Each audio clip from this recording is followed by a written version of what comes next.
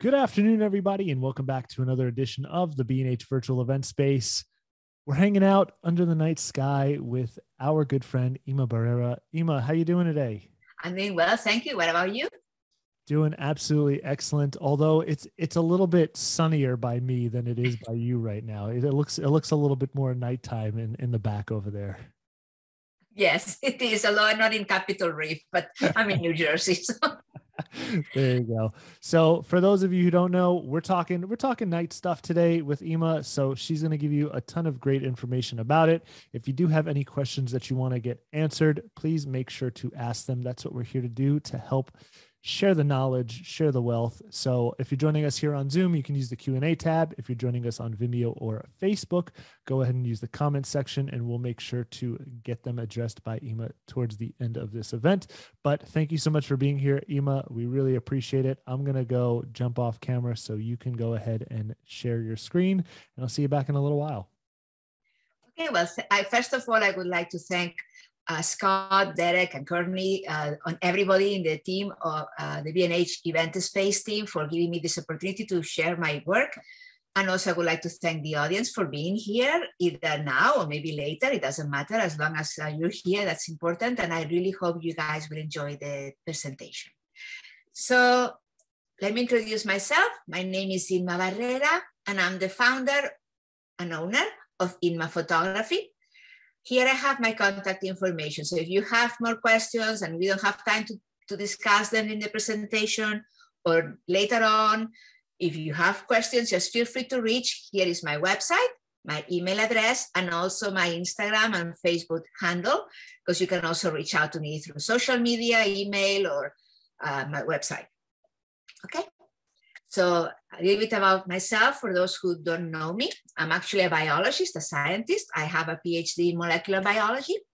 And I have spent many years of my uh, research uh, taking images of um, molecules, cells, bacteria, viruses under electron, optical, and fluorescent microscopes. So I use photography as a tool for my research.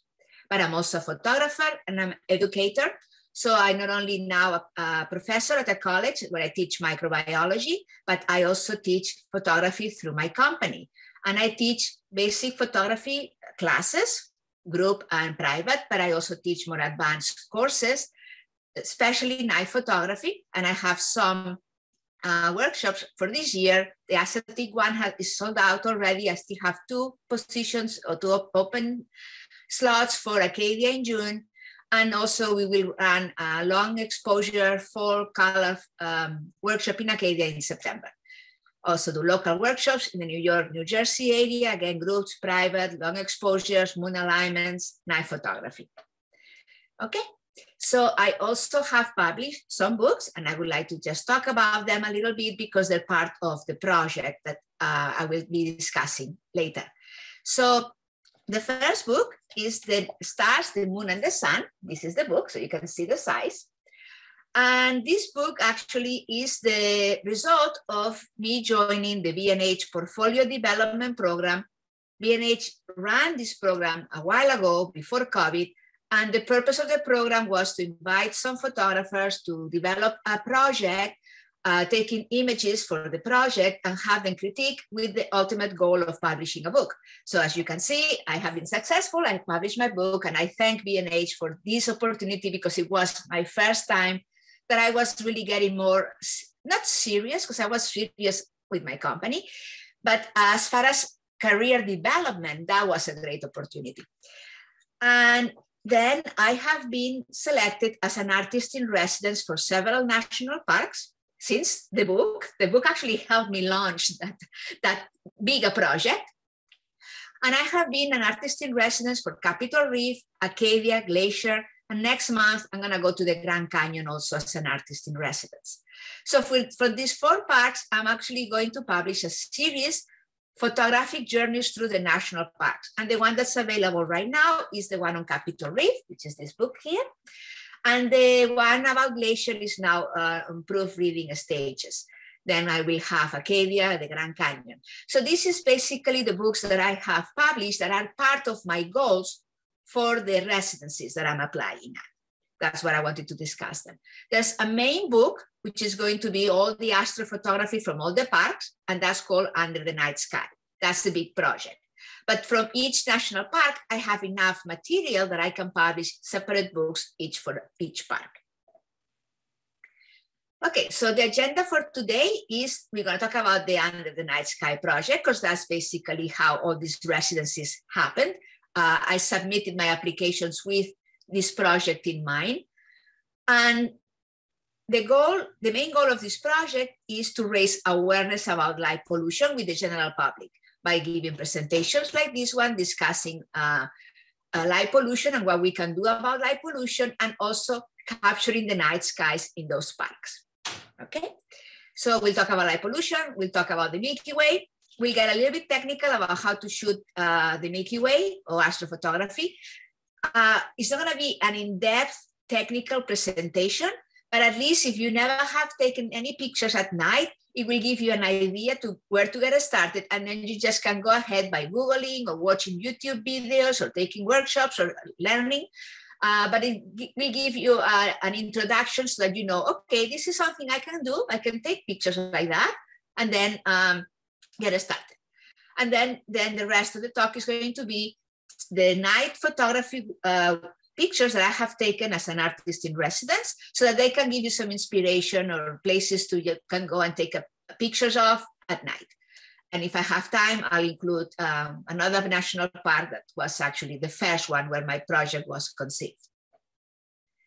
Okay, as I said, Under the Night Sky is the name of my project. And basically, when you submit uh, an application to be an artist in residence, they ask you to have a project. Why do you want to be an artist in the park? So that's basically the same project I applied to for all these uh, residencies because each of them is going to be a chapter of this book, Under the Night Sky, with the general goal to raise awareness about light pollution. So what is light pollution? Light pollution is wasted light that performs no function or task. It's the light that we actually do not need, that doesn't help us, doesn't help us feel safe, doesn't help us see when we walk down the street. It's just light that goes into the sky and it serves no purpose. Examples could be sky glow, glare, lights from um, coming out from lamps or things like that. If we look at the map of the world, we'll see that the areas where there's more population, like half of the US and California, some areas of Canada, areas around uh, the city of Mexico, Europe, Japan, areas around like New Delhi or other big cities. Those are very light polluted. This map is light pollution in the planet.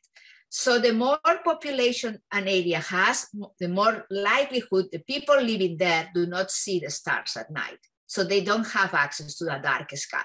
And this has an effect in, uh, in ourselves, in our uh, well-being, because we need to have a good night rest, but it also affects the environment, affects the ecosystems and the animals that live in those ecosystems, either nocturnal animals, plants, but even during the animals that are active during the day are going to get affected if the animals that are active at night don't have a they are not really uh, being in a healthy environment. They might be able, no, they might not be able to eat certain uh, animals that need to be, the population needs to be controlled. Things like that affect the very uh, delicate balance of, of any ecosystem. Okay, that was my biology. I had to say something about it. So the good news about light pollution is that uh, actually is one of the very few types of pollution where we can actually do something about it and reverse it as much as we can. Because it's just basically turning on and off the lights at the right time. Or if we have the lights on at night, having shields that direct the light down. So, because that's where we need the light. We need the light pointing down so we can see, we can feel safe. We don't need to have the light going 360 degree all over the place. We can also use energy efficient and warm white light bulbs because they can be uh, more natural to, uh, to wildlife, so they don't feel as disruptive for them. We can also use timers so that when we are all home and we're all resting in bed, we don't have to have the lights outside on. So things like that are minor, but it actually has an impact, especially in areas like where we live, New York, New Jersey, or Connecticut, or Pennsylvania, where there are so uh, populated where we barely can see the sky at night. So there are areas like, for instance, Chittenango, that's a small town in upstate New York near Syracuse, they change all the lighting system or the streets and the lights all point down. And there you can see the skies, uh, the dark sky and the stars, because even if you are so close to Syracuse, the light fixtures help control where the light is going. So if people are interested in knowing what we can do, they can always uh, lobby their mayors or their governors or whoever they know to get things get going because we in the East Coast, we don't have very good skies. But you can learn more about it if you join the International Dark Sky Association.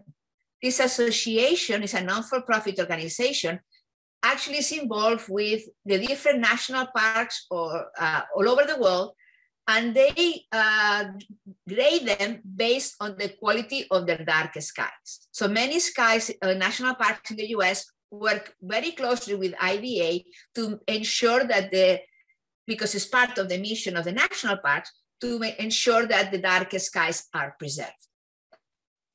So I wanted to show you this picture uh, because this is a 2020 uh, calendar. And that year, um, IDA ran run a campaign to raise money. They call it the One Big Sky campaign. So they donate, people will donate money and they will send, depending on the amount, this calendar for 2020.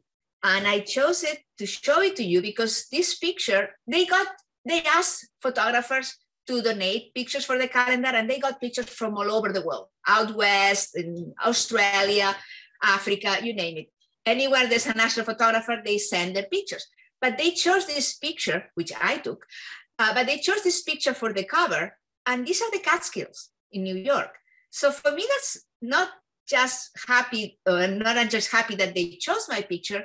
I was proud that they chose the Catskills because despite the fact that the East Coast is very light polluted, it gives a message of hope. If we control light pollution, we still have hope. We still can see dark skies. This area in New York State or the shore in New Jersey where you can still see the Milky Way.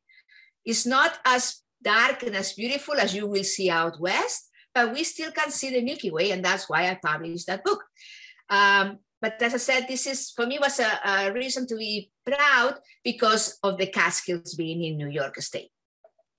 Okay, so this is my uh, part, my portion about light pollution, and now we're gonna get more uh, into the stuff that I'm sure that a photographer wants to know about, which is the Milky Way. Let's learn a little bit about the Milky Way. The most photographed part of the Milky Way is the galactic core.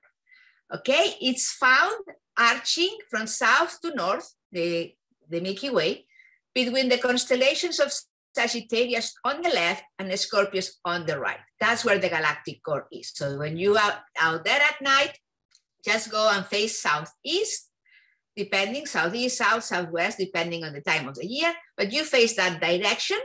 And if you're able to see Sagittarius and Scorpius, you'll see the galactic core in between. And I'll show you pictures so that you actually can see uh, how they look like, Scorpius and Sagittarius. The easiest way to identify Scorpius is through a star called Antares, which is the brightest star and is the closest to the core. So when you find Antares, you're gonna know an hour later, that's where the core is gonna be. And there's also the summer triangle that in the, the Milky Way, the arch of the Milky Way goes through the summer triangle in the summer. And the triangle consists of Altair, Deneb, and Vega stars. And then towards the north, we will find Cassiopeia. So that we, you identify Cassiopeia has like a W kind of shape. That will be towards the north, and that's the north arm of the Milky Way. So this is a picture of the arch, so you can see. And here on the right part of the picture, I don't know if you guys can see it, I'm pointing it here. Uh, this star here, that's Antares. It's very basically on the right part of the image in the middle. Yeah, here, that's Antares. Antares is part of Scorpius and is part also of Rho. That's this group of cluster of stars here.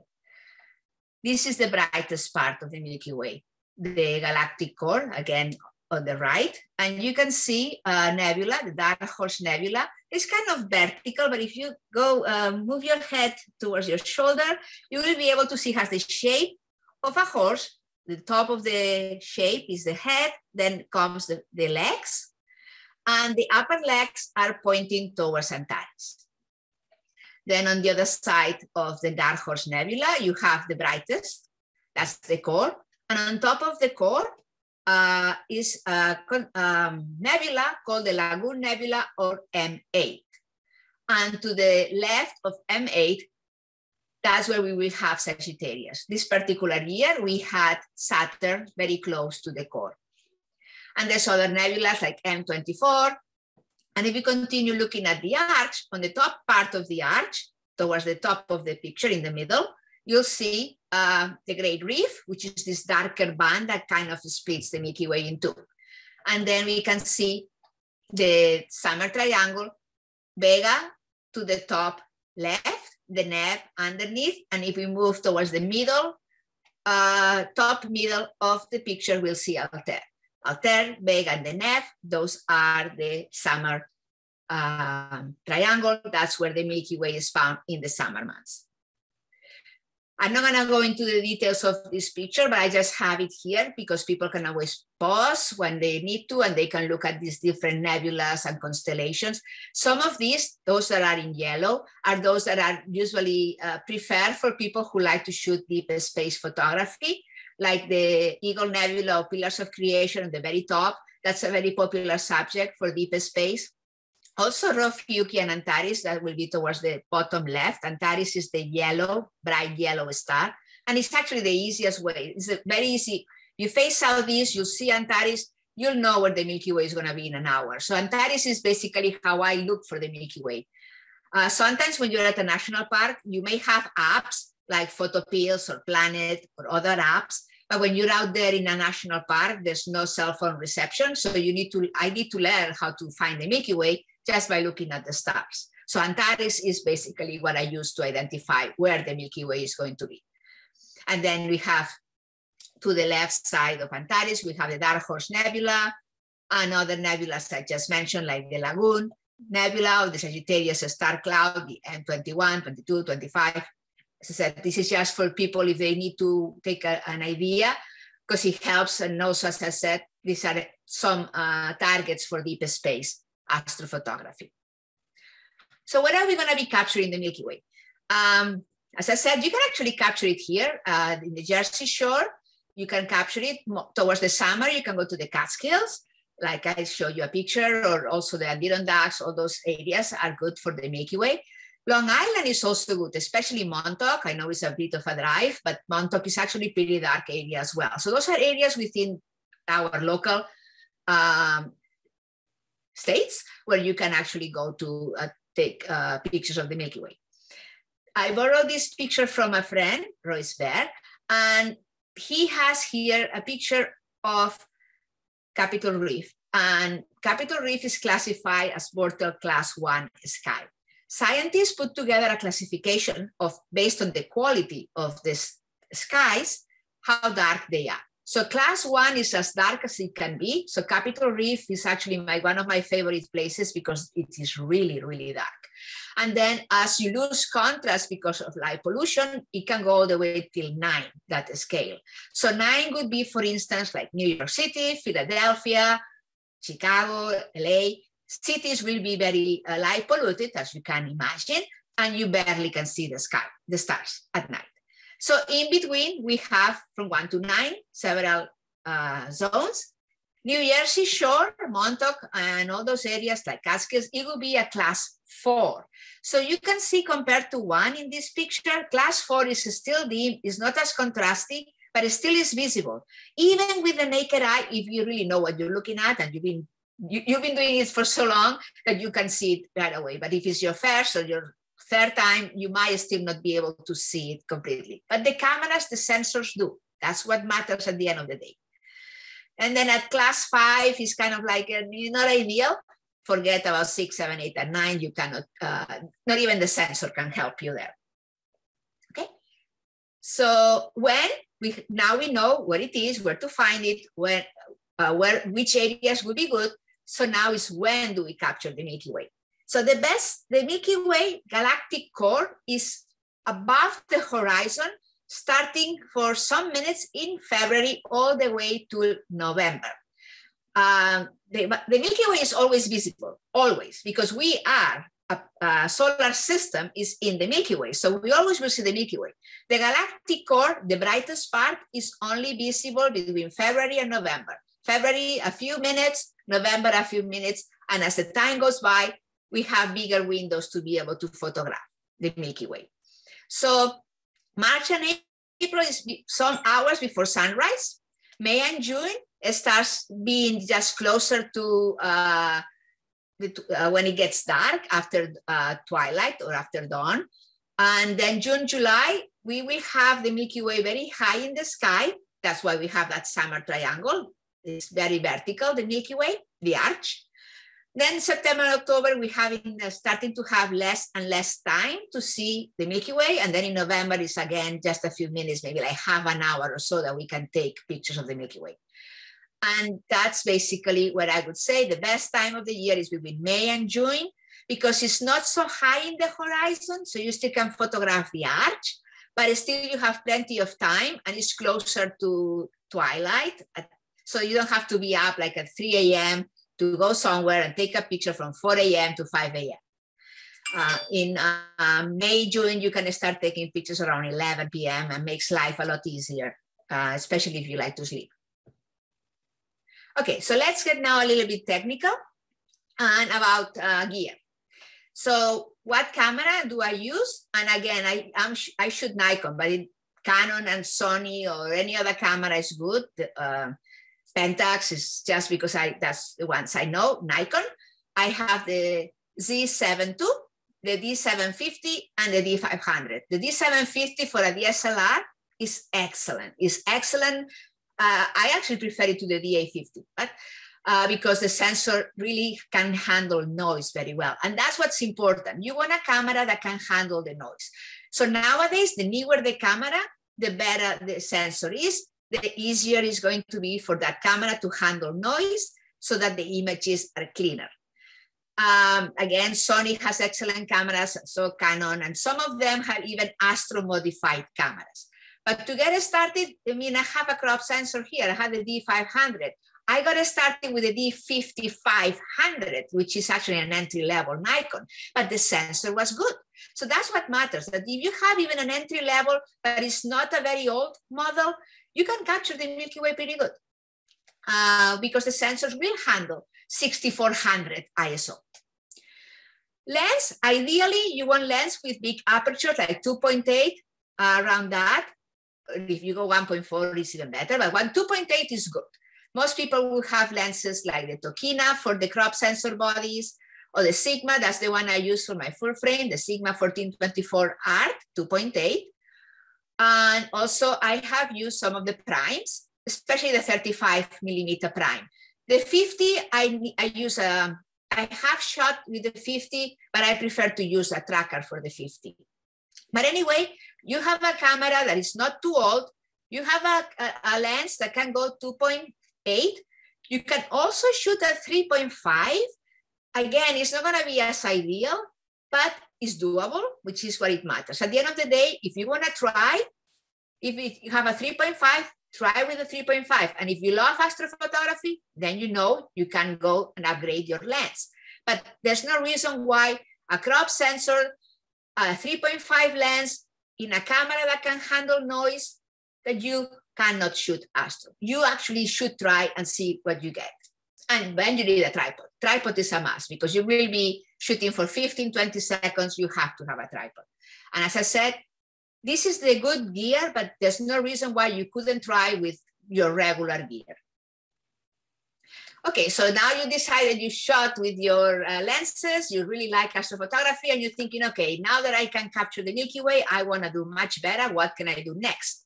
So, what's the nice to have gear? Star Tracker. I'm an ambassador for Move Move Tracker, and I love that tracker because it's very portable, it's very easy to set up. And when you are out there and it's cold and you only have half an hour to shoot, you don't want to mess up with your gear. You just want something that is easy, portable, and you can set it up quickly and start getting, start shooting. Intervalometer, if you have one, is good, or otherwise you can use a self timer.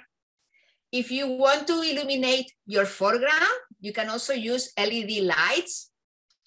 And in a process we call low level lighting. If where you are shooting allows you to use lights, because some national parks, Zion is notorious for that. Sorry, Arches. Arches doesn't allow any light at all because of delicate arch. There were way too many photographers shooting delicate arch and they got very strict, no lights. But I used the Lume Cube mini panel uh, and I also use the, the cube itself to illuminate the foreground.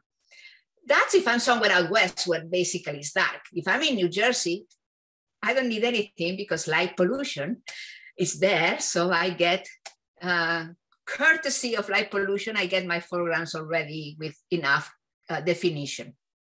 And then there are apps and software that help you find the Milky Way, like PlanIt Pro or Photopills or similar software, and also some software that will help you post-process uh, your Milky Way shots.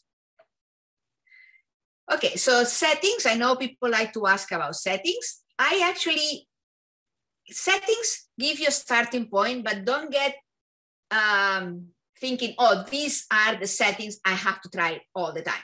No, because your settings are going to depend on light pollution. That's why it's important. If you have a lot of light pollution, you're going to have to use less ISO, otherwise your shot is going to look too bright for a night shot. So play with your settings. You can start with, um, for instance, aperture 2.8. You can have 3.5 if you if you don't have a 2.8 lens. You can also go, as I said, 1.8, uh, something around that. The bigger the aperture, the more light you can capture, the better. Uh, the shutter speed depends on your focal length. And you can Google this, uh, the 400 rule, the 500 rule, or the NPF rule. That basically are the formulas people do to calculate how the maximum shutter speed you can have for your picture. And as an example, you have 500 divided by 50, 10 seconds. That's as long as you can have your shutter open. So just Google this term so that can help you um, learn about more uh, how open um, you can have your uh, camera, your shutter. Again, the ISO depends on the light pollution. I have shot at ISO 3200 if it's light polluted. I have gone to places that are dark, like those national parks, and I shoot at 8000 there because at 3200 my image is, is too dark. So that's basically uh, what I adjust based on where I am. And it's also very important always to shoot uh, manual mode and manual focus. Uh, you, if you leave your uh, focus in automatic, your camera might be hunting for focus at night. So just switch everything to manual and focus on the stars. Okay, now a little bit of a break as far as um, Milky Way. I would like now to discuss uh, star trail photography because I have some images, so I want to explain how they are taken. So star trail photography is basically when you capture the movement of the stars through a period of time usually minutes or even hours. So instead of having pinpoint sharp stars, you're gonna have like a trail. That's basically the distance that star travel while you have you were taking those pictures. Okay, so how do we uh, do star trails? More people like to find the North Star or Polaris because then you get those nice concentric circles. And how do we find the star trail? If we look at the Big Dipper, this is the shape of the Big Dipper, like a spoon. But there's two stars at the side of the spoon. I don't know if I pronounced them right, Dubhe and Merak. They're called the pointers because if you measure the distance between both Merak and Dubhe, and then you count that distance five times in the direction those stars are pointing, you'll find Polaris. So that's basically the easiest way to find Polaris. Polaris is the north star, so it's at the north, close to the North Pole, but it's not the brightest star. It's actually not that bright. And the Little Dipper itself is actually not as easy to find as the Big Dipper. But once you have found the Big Dipper and Polaris, then you'll be able to see the Little Dipper. So now when you have found Polaris, you can uh, take your picture, point at Polaris, and then you can get your uh, circles.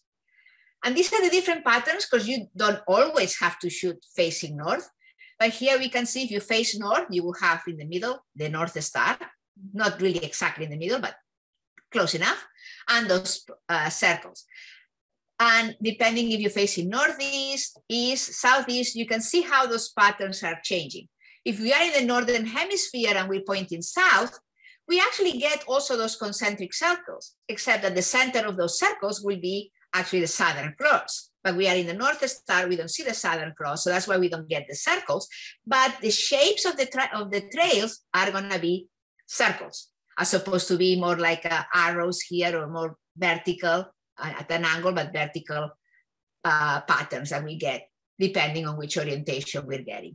So you can experiment. You don't always have to be shooting north with the star trails. Some of these shots are beautiful regardless of which direction you're, go, you're facing. Okay, so this is all about the technical aspects. Now we, I'm gonna focus the rest of my presentation, the next 20 minutes or so, about the pictures I have taken as an artist in residence. And hopefully that can give you some inspiration. You can learn about these parks. And if you have a chance to visit them, then you have some ideas for what to shoot over there. So my project, again, under the night sky started at Joshua Tree. That's basically where I had the idea that I wanted to have a big project that would take several years to complete my project, but I wanted to apply to those residencies because I wanted to have a, documentation of the different parks, how different parks handle uh, or protect their night skies, and also because I uh, wanted to, again, raise awareness about light pollution. So after Joshua Tree, I started applying, wrote my proposal, I started applying to these national parks. The first one I got of my residencies was Capitol Reef. Capitol Reef is unique in the sense that they have a specific uh, uh, residency for uh, night photography because it's actually one of the darkest skies I personally have seen. There might be others as well, but I have not been anywhere as dark in the US as Capitol Reef. And this is some of the pictures I took of the Milky Way. It was spectacular. I just cannot say that going to these places is really like a dream come true because the dark, the skies are so dark. The Milky Way is so easy to see. It's almost like hits you like, wow, that, that's the Milky Way. Or when I saw the Big Dipper the first time I got out of my uh, uh, housing, because they give you housing in some cases, I got out of the house and then I saw, boom, the Big Dipper. It's like, instead of me, okay, let me see, where would the Big Dipper be? Why am I facing north? No, it was there. It's like, uh, yeah, you, you could see it so easily. And this basically, this picture was taken at the Fruita Valley, which is basically the area where the Mormons settlers uh, started um, de developing their communities within the Capitol Reef area. And here we see the Mormon schoolhouse. And here to the right of the picture, that's Utah Highway 24 that basically crosses uh, Capitol Reef National Park. So this was taken my very first night. I landed, I got there, I actually got uh, retrieved the key to the housing, le left all my suitcases in, went out to start shooting because there was no clouds. It's like I'm not to waste the night. I'm just to go out and shoot. I'll sleep during the day. The next day, I went to Cathedral Valley. And if you ever go to Capitol Reef, do not skip Cathedral Valley. Yes, you need a 4x4, a high clearance vehicle, or something like that, a four wheel drive, but it's really, really worth it. And this is the Temple of the Sun. And you can see how uh, this is actually pretty uh, tall monolith. It's about 5,000 feet 5,800 feet, sorry. And you can see now here, this was 2019. To the left, we have the galactic core. And now you can see almost on the top of the tip of the Temple of the Sun, we have Antares and this kind of circle here, that is Ophiuchi. You can see this bright dot riding the, the Horse Nebula. This is Jupiter. And you can see here the Milky Way, this kind of like a lagoon nebula. So you can see the other nebula in the between those two parts of the Milky Way. And this is the temple of the sun. That's the temple of the moon. Previous was the temple of the sun. So this is temple of the moon. This is about 1,500 feet. You can see now that the uh, Rho Ophiuchi is a little bit to the left part of the temple. And the one in the middle, that would be Antares. Again, Jupiter was extremely bright 2019 because it was just riding in the Dark Horse Nebula. Right now, Jupiter is not anywhere near the galactic core. And you have again all the nebulas here. I just want to point something about the post-processing of these pictures. You can see this one, the temple sun. The foreground is a little bit flatter because I had to use the light coming from the stars.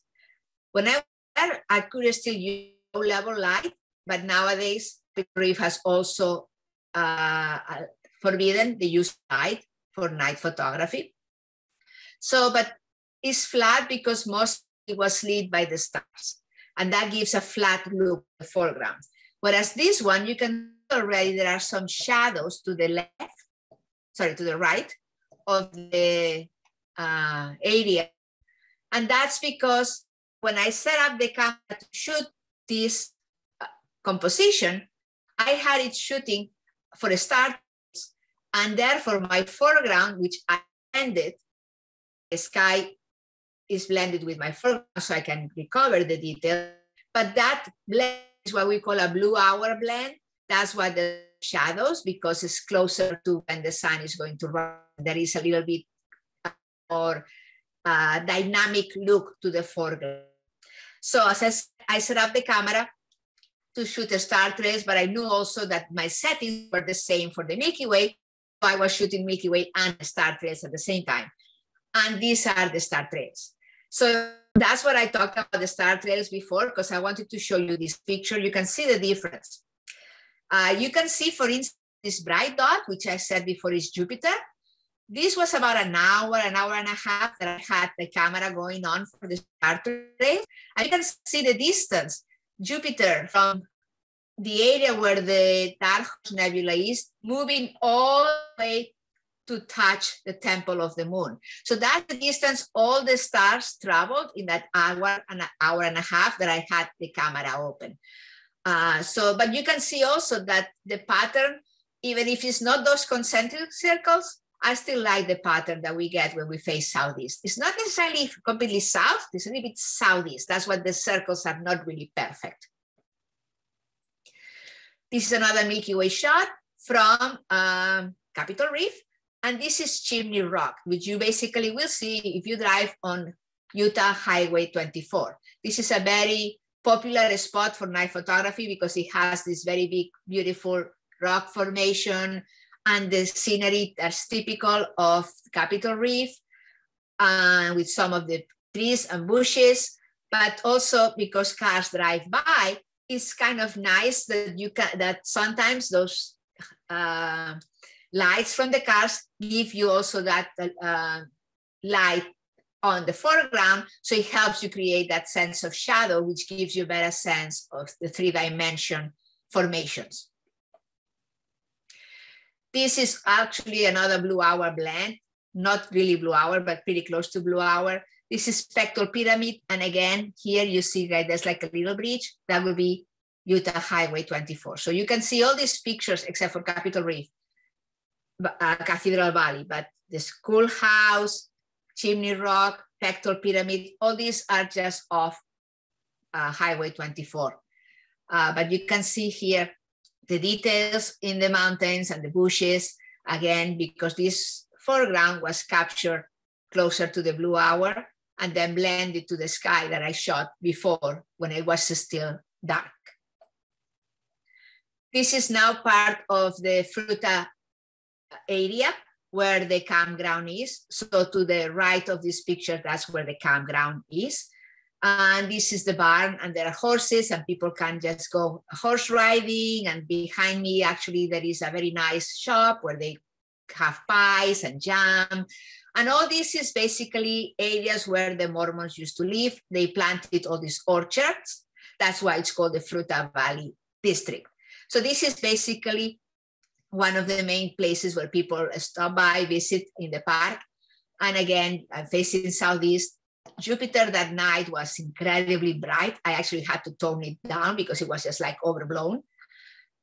To the upper part of the left side, we have Antares and Rho Ophiuchi. And here on top of this mountain, that's the Cohab Canyon. And here you can go inside the canyon while you go hiking. This is Saturn. And this is a panorama shot. And people sometimes wonder, can you shoot the Milky Way if the moon is out? Okay, the answer is if you're in New Jersey, you cannot. But if you are somewhere that is dark, yes, you can. And that's an example. These are single shots stitched together as a panel, but each of these is a single shot. I'm not blending my foreground here. This is a set single shots stitched together. And my foreground is lit because the moon is still out. So you actually can see that the Milky Way is faint. It's not as bright as you have seen in the previous pictures, but you still can see it. You can still can capture it. And you can see the arch now. It's a May arch because I was in Capitol Reef Merge arching. So this is southeast all the way that direction, which will be north. So the left part of the picture is north, the right part of the picture is southeast. And these are star trails. This is very close to the place where I took the pano. This is Cathedral, uh, the castle. This is the castle formation, which this is the Fremont River, and this is very, very close to the visitor center. Here in the middle, that's the north. The, and then around the north, the, all the stars are rotating, and that's why we get these concentric circles that we talked in before. This is another different way of post-processing. This is more the traditional uh, traditional style of post-processing a star trails. And this is more where I was playing with the post-processing tools in Photoshop. So if you have a preference for one or the other, feel free to comment because I, I can't decide. I like them both. This is, as I said, more traditional, more what you're used to seeing. But here the circles look more, I don't know, uh, mystic, so different looks. So that's for Capitol Reef. So 2019, then comes 2020, and I got selected to go to Acadia. Then COVID happened, and it was postponed for a year. So I went to Acadia in 2021. Um, so when I was looking at the different parks for my project, I was looking at different parks with very different ecosystems. Don't forget, I'm a biologist and I want to capture those ecosystems as well, not just the dark sky. Because the sky, if it's dark, it's going to be dark everywhere. What makes the picture is the different uh, scenery you're photographing. So this is Acadia, and this is actually in the Schoodic Peninsula. And you can see here the Milky Way. You see now there's nothing uh, near the Dark Horse Nebula. Jupiter has moved out of the way, but you still can see to the top left part of the picture Antares, that yellow dot, Rho Ophiuchi, Scorpio, which has a shape like an inverted L, kind of, and some of the stars here to the right of the core, sorry, the left, the left of the core. I need to learn my, my hands. So to the left of the core, we will have Sagittarius. And then here in the center, the galactic core, and we can see here that pinkish dot, that's gonna be the Lagoon Nebula. So obviously in Acadia being um, by the sea, there's gonna be a lot of uh, sea images here. This spot is kind of nice because not too far from it, we actually get to see bioluminescence, which is kind of cool. So these are bacteria or some protozoa that are basically able to meet bioluminescence. And at night, if the sea is rough and the right conditions are there and you have a good camera, you actually can capture the bioluminescence. So you can see here your typical evergreen trees from Acadia, your ragged shore uh, line, and in this particular area, as I said, where the sea is rough and it hits the rocks, you get to see bioluminescence. Those protozoa and bacteria because of the movement of the water hitting the rock, kind of get uh, a little bit scared, so to speak, and they start emitting this uh, bioluminescence light so they can communicate with each other. That's the biology behind this shot. This is uh, one of my favorite pictures of Acadia. Some areas at Acadia at uh, where it's low tide, you can actually walk from the peninsula to the island. But when the tide goes high, they, they become an island. So they're no longer. So if you go hiking in a place like that, you need to be taking care of when the tide is high, otherwise you're going to spend the night there. So, but this is perfect because even if the tide is high, it's never going to be, the sea is never going to be that high that is going to be difficult to, to actually get a reflection. This is actually very calm area. It took me three nights to get this shot because I needed to have high tide. I needed to have no clouds, and I had clouds all the time. And I needed to have no wind at all. So finally, after three nights attempting this shot, I finally got it. So finally, I had like a half an hour or maybe 20 minutes time to be able to have the right conditions. And I got it. As I said, it took me three nights out of the 15 nights I was there, but I got it. This is also one of my favorite shots. I have to say I love them. I guess because I was there for hours, I have to like them. But this is Eagle Lake. Now you can see the Milky Way again, the galactic core, here towards the middle, a little bit to the right, you have Antares, Ophiuchi, Scorpio, you have some of the mountains in the back of Eagle Lake and some of the trees by the shore, and then you have the reflection. So this shot, this shot is basically a blend of three. When I'm talking about blend, uh, yes, it's technically a composite, except that I am there, I'm not moving my camera, I'm just changing the exposure so I can expose for everything because I cannot expose for the sky and get details in the foreground my foreground, this foreground actually is about 30 or 40 minutes. So were the foregrounds at Capitol Reef, 40 minutes exposures, because there's no dark, there's no light, it's dark. And I need to have the stars to illuminate my foreground. And you can imagine that's not very bright. Therefore, it takes me 40 minutes to capture those details. And then I had also to blend the foreground with the, with the reflection. So basically that's most of my shots, either my skies uh, stacked or tracked, and then exposure for the foreground with low level light if I can do it, depends on the regulations of the place where I am. Otherwise I use the starlight or I blend blue hour shots with my stars. This is Thunder Hole a very popular location within Acadia because when it gets very rough, very windy during the storms, there's this huge standard of water that's spraying all over. So that's this spot. And again, you can see Antares here is very, very bright and yellow. Another location in one of the overlooks, walking on that uh, loop, the one uh, way loop that is in the park. So when you drive there, there's several areas you can stop and take pictures. This is one of those. Little Hunters Beach, when I went down to the beach. This was taken in July. So you can see how vertical the Milky Way is because in July and August, the Milky Way is almost vertical. This again, Little Hunters Beach. Earlier, this shot was earlier than the other one. So that's why the Milky Way is still not completely vertical. But as the night progresses, it gets to be vertical. And then you can see here that the Dark Horse Nebula is just really behind those trees. And these are some star trails. Again, I'm facing north. You can see now I was playing with my post-processing and you can see the different colors of the different stars facing north. This is Jordan Pond. This is a very uh, popular location for star trails because you have the bubbles, those uh, two mountains in the very back of Jordan Pond, and you have the star trail almost the, the North Star almost aligning perfectly with those bubbles. So that's for Acadia. And now my last residency for 2021 is gonna be Glacier National Park. Okay, so this is basically Hanging Valley. You have here some of the characteristic mountains of Glacier that this is Mount Oberlin, Mount Clemens, Mount Cannon, This is a glacier here, and this is a waterfall that drops like about 500 feet, and the Milky Way. This is also a popular spot. This is Jackson Glacier, and it's one of the few glaciers you can see from the road. Shooting the Milky Way at the at glacier, one needs to be careful because there's grizzly bears.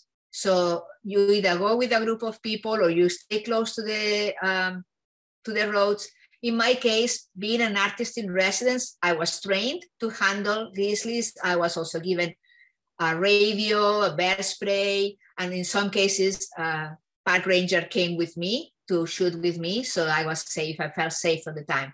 That's another beautiful thing about being an artist in residence. You actually get to see how the parks operate and you get to make friends within the rangers and they treat you so well. It's just a fantastic experience. Again, this is Jackson Glacier. This is St. Mary Visitor Center. So this is basically at the end of the east entrance of the park. St. Mary is the name of the little town. So when you enter the park, this is the visitor center. And this is where the Night Sky Festival takes place, here and Apgar Village. But here they have actually a telescope that is hooked to a computer and a screen. So that's basically where you would like to be if you wanna participate in the Night Sky Festival. This is Logan Pass, and this is my, these are also some of my favorite pictures. Uh, I was shooting with people here, so I was able to feel a little bit more adventurous and walk uh, without worrying about grizzlies. So this is Mount Reynolds. And this is the same, a little bit different spot, but the same uh, mountains, Mount Reynolds. You can see the difference in the composition. Here, the Milky Way is still a little bit uh, with an angle. This is July. But then as the night progresses, the Milky Way starts getting more and more vertical. And you can see here, um, kind of like erupting. I like it because it's like a, it's not a volcano, obviously, but it looks like a volcano that's erupting all these stars. So that's why I like this shot. So we went hiking with the rangers and so we were safe. And uh, this is the overlook at Hidden Lake. This is Hidden Lake, Bearhat Mountain, and we can see here the Milky Way. You can see very close to the mountain, you can see Antares, and you can see also on top of the uh, brightest part, the core, you can see the Lagoon Nebula and you can see some of the stars to the left of the core of Sagittarius. I like this picture because that reminds me of The Shining. For those who like uh, Stanley Kubrick, it's one of my favorite directors. So if you see The Shining, this is one of the very first images you see of the movie.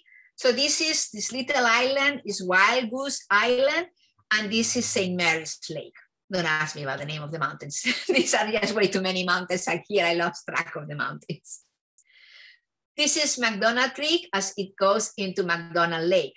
And there is some light pollution here against the mountains. And this is where the McDonald Lodge is. And actually not far from that lodge is where my cabin, because they gave me a, a, cabin for me to stay. That's where I was actually staying at the park.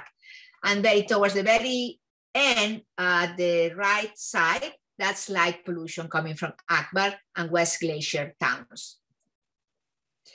Okay, so uh, this is uh, the presentation for those three national parks. As I said, in um, next month, I'll be going to the Grand Canyon, which will be another chapter of my book. So I finish on time. I'm happy. Excellent. Yes, you did. You did a wonderful job of finishing on time, Imma. Thank you so much. Uh, wonderful information, great, beautiful visual images. Uh, we'll jump into some questions here and get them answered for everybody. Now, First question is coming from Chelsea off of Facebook. Thanks for joining us here. Uh, wants to know Do you personally recommend motion sensors for lights so that they only go on at night and when there's some someone moving? Yes, that's actually a great idea. Yes, because yes, if you're moving and you need them, then they will go out. But then at night, areas like in New York City is going to be very difficult because obviously I mean, there's way too many people. But if you live in towns or villages where you're going to have wildlife, it certainly helps them that it's dark at night. So yes, I, I would support the idea of having motion, uh, those uh, type of light fixtures. Great. Now, David wanted to know, uh, did you do any light painting on that first image and on the Temple of the Sun image, or was that just natural light? The Temple of the Sun had not light painting. Let me differentiate light painting from low level light. Okay, low level light is what I use. I don't use light painting. Imagine me going with a with a uh, flashlight going like that. Light painting uses a flashlight and you move your light to illuminate. And that's actually is not easy to reproduce. So if you actually look at it, it's like, I don't like it, then you have to do it all over again. Low level light is basically, that's what I use the, I have them over there. So I wish I, anyway, I use like a mini panel and I can turn them on at 1%. So they're very, very dim. They're actually dimmer than full moon. So that's not disrupting for an animal because full moon is there and animals can live with full moon. So if it's so, so dim, it's not disruptive to the environment. And you can use those LED lights and they're gonna be spreading evenly, so it makes it easier to illuminate your foreground. As I said, some parks like arches, because of delicate arch being so incredibly popular that the, the people in the park already started worrying about the impact of photographers in those areas at night. So arches and even Capitol Reef now, they do not allow any light. Low level light. Light painting, most parks do not accept light painting because you are with a very powerful flashlight and you're gonna go and paint that's to disrupt wildlife. But you don't have to. I mean, when sometimes I, I use low level light, I use it for maybe, if I expose for 15 minutes, I use it for five minutes, but the remaining 10 minutes, I'll turn it off and I let the stars illuminate because then I have not just the temple, I have the background behind the temple also get details. Because otherwise, if you just use the low level light, you're just gonna have the temple illuminated, but your background is still really dark because you're having your LED light is not gonna go that far. So I do a combination of both, a little bit of low level light so that I have good details in whatever is closest to me, but I let the stars illuminate the rest so I get the entire background, foreground. Great. Now we'll we'll end off with this question here from David, uh, who says it seems that getting a really good image is more related to your gear, considering camera and lens, other than just photography, which we can debate. But how how true is this? Uh, like for instance, he's got a mid-level full frame, not great at higher ISOs, and only currently has a lens that is greatest aperture is 4.5. Uh, his foregrounds do not pick up as much light as your shots would. Uh, is this due to an equipment limitation or the low level light you use? Well, uh, 4.5, you said 4.2. Uh, that's actually a very small aperture for night photography, so that's gonna make it hard. Uh, if you wanna try astro, I would say go for the star trails because the star trails you can shoot at f8 if you want to. I mean, it's going to be a challenge. You're going to have to shoot for a couple of minutes at f8, but certainly star trails are more forgiving. You can use any aperture. The problem that you have is that such a small aperture is going to force you to use a longer shutter speed, which is going to have your stars trailing regardless. So it's not so much the sensor or the camera you have, it's more the lens. Uh, if you really enjoy night photography, you start with the starters, you really enjoy it, I would say B&H has a wonderful use department. Get a used uh, lens, get a prime lens, a 35 millimeter prime. Again, I'm an Nikon shooter, so I don't know other, but I'm sure they all have 35 millimeter primes that they can shoot at 1.8. You don't, and those are cheap. And if you got them use, they're also cheaper. So, and those are going to give you much better results, a lot better, because you, then you can go to F2. And then, yes, you're at 35, but then you can also do panels. And 35 actually gives you a very nice close up of the Milky Way with the composition. So I actually like shooting at 35 a lot. So Imma, I want to thank you again for being here. You always do a wonderful job in bringing photos and information to us. So we really appreciate it. Uh, if you haven't already, Imma's information has been up here since she finished. So at least for about the last 15, 20 minutes. So go shoot her a follow, whether it's on Facebook or Instagram, or just check out her website, share her work. That's how we grow as creators and uh, grow the, the whole entire thing that we're doing here. So thank you again to everybody who tuned in and watched. We hope you enjoyed this and we thank you for joining us tonight.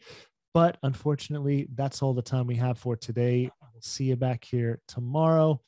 This has been another edition of the B&H Virtual Event Space. We'll catch you next time. Thank you so much, everybody. And feel free to reach out. Thank you.